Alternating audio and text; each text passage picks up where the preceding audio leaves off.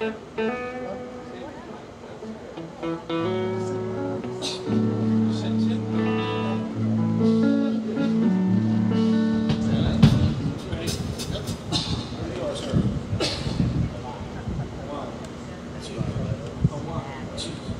Penny Lane,